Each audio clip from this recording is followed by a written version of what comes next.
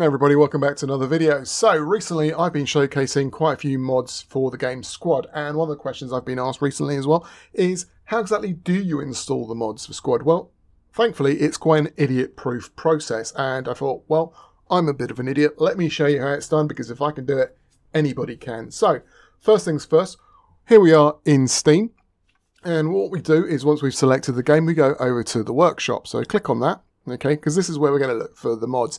Now, compared to other games, this isn't particularly well fleshed out. Normally you can do a search by tag and there's all sorts of like different ways, well, different sort of, um, well, tags to search on, like complete overhauls and whatnot in other games. But this one is a little bit bare bones and basic. So usually you're going to just, you're going to be browsing quite a bit.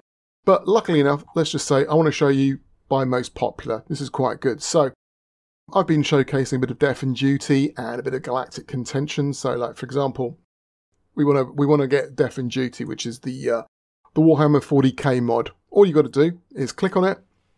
Here it is, and then you just click on subscribe, and it will automatically stout st stout. It will automatically start downloading for you. Okay. Um. Now, what I wanted to see if I could show you something else is if there were any dependencies, but it doesn't seem to be any here. Let's just go back over here and let's go to Galactic Contention, which is the Star Wars mod. Okay. Right. Okay. Here we go. So, say you wanted to grab Star Wars, I'd already grabbed it. You just click on, on the green button. But if there are any other kind of sub mods that were like dependencies for the main mod here, they would be here now. You see, this game requires this DLC to be installed, which is lucky because the Canadian Armed Forces DLC is actually free. But if there was another mod that was needed, it would be listed here as well. And um, there you go, and you get all sorts of info. And uh, oh, I don't want to boast, but here's my other my galactic contention video that I created. But enough, enough of that. I'm not here to blow my own trumpet. I'm here to provide you with some good information. So once you've clicked on it, it'll start downloading, and hopefully maybe I did a download before. And that's what you would see here in downloads. You see, I've downloaded some stuff from the Squad Workshop, and that's what it would look like. You see, it's a Steam Workshop for Squad. Okay, so as you can see, I love a good mod because that's all I seem to be downloading lately. But anyway, now once it's downloaded, we can now jump into the game. So we'll do that straight away because I'll show you what you need to do next. So we'll just go back and we will launch.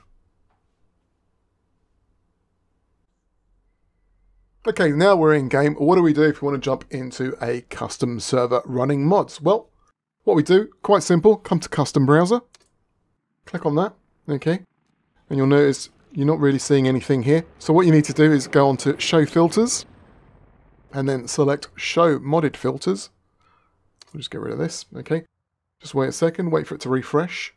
And here you see servers that run mods. You can tell because they've got that little kind of icon with a wrench. So here we are, there's a Galactic Contention um, server up and running. We'll just select this.